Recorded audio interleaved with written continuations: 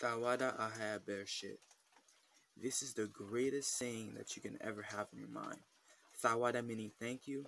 Ahayah, the Father, is his name. It means I am in Hebrew. And Bereshit means creation. See, we are in we are we need to bear witness to the Most High at all times in our mind. This is what Bereshit means. Bereshit. So Bereshit. So bear witness to the shit. You know, so that's what's important to me in a place where there's no Wi-Fi, where there's no, where it's just nature, because the Most High already created everything beautiful. So in creation, you have, uh, yes, so fruits are the best food for you.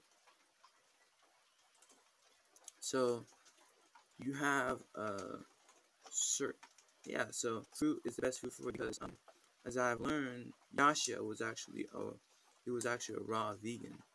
So um, yeah, that's what I think it was. But but everybody has their own path. Everybody has their own thing that they will do. So but the most important thing is to be the most important thing is to be in the salt, is to be in the ocean, is to be outside. That is key. You know, uh, a connection with the Most High is the most important thing.